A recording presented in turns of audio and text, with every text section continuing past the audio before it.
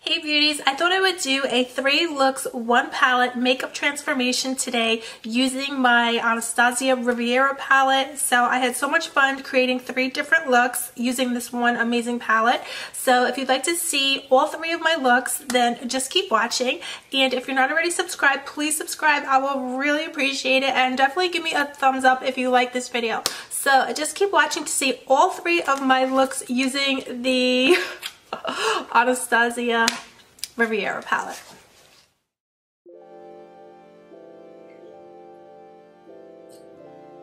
So first I'm starting with Estate on a super fluffy brush. I'm just working that back and forth over my upper crease area, flicking outwards at the outer portion of my eye.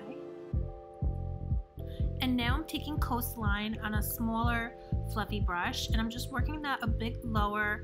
The same exact movements, just back and forth, massaging it over my eyeball into that crease. And then also smudging it under my eyes with the same fluffy brush and then bringing it out a bit.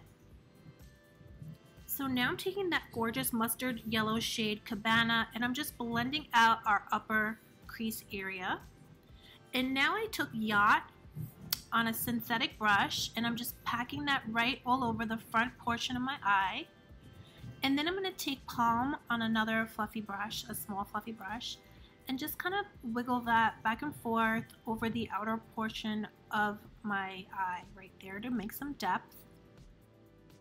And just tapping it on also, tapping and blending, and then making circular motions just to get a nice blend.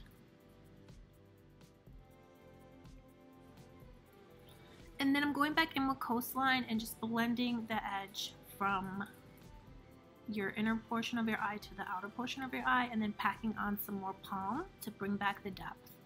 And now I'm taking some Kush Milk Fiber Mascara and just put that on. And now here's some Cork lip liner from MAC. And then I'm filling in my lips with L'Oreal Tongue Tied and then my Beauty Mist to finish. So this is just a nice natural daytime kind of look.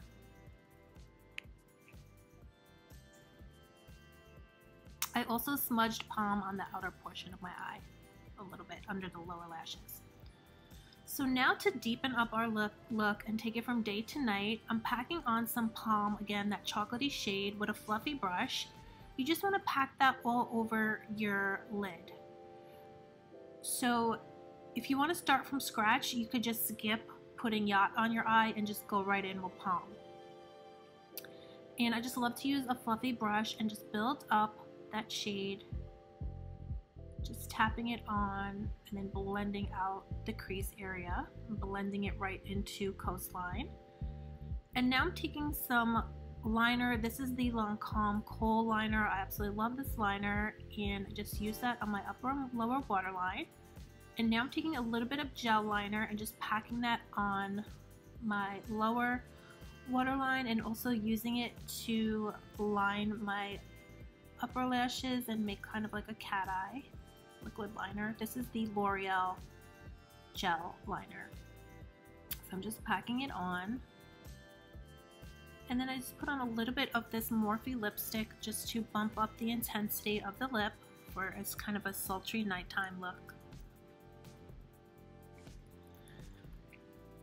So finally I thought we would do an uber glam and show how you can do the same exact thing now and just add some concealer to carve out your crease and we'll do a cut crease and really glam it up.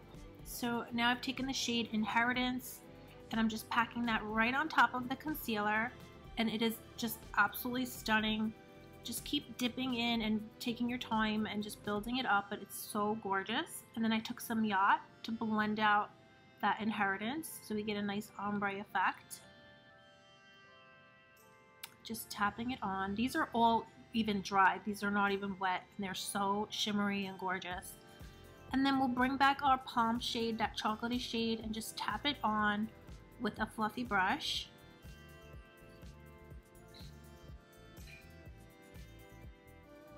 And then I'm going to take a clean fluffy brush and just blend that out and also I took some Cabana Now on a clean fluffy brush and I'm going to use that to blend out our crease in our transition area. So So I'm just packing on Yacht now on the other eye in the center portion of my eye. Bringing back Palm. And then I'm using my finger just to pack some more Inheritance on top. So that's just so gorgeous. And then I'm taking some more Estate and smudging that under my lower waterline. And then I'm gonna eh, pump it up and amp up the glam with some House of Lashes. And then I'm going back over my liquid liner again, bringing that right back. And now I'm gonna take Jeffree Star in Designer Blood and it's just such a gorgeous red.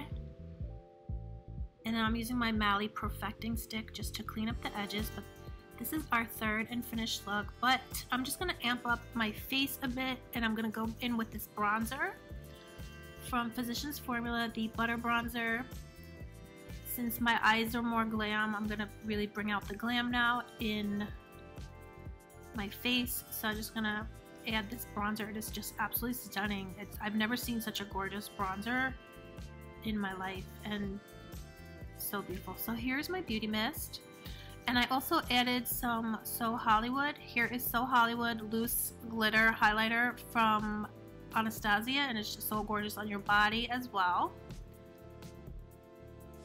So this is the finished look. Absolutely, this is, you know, my favorite. Super glam.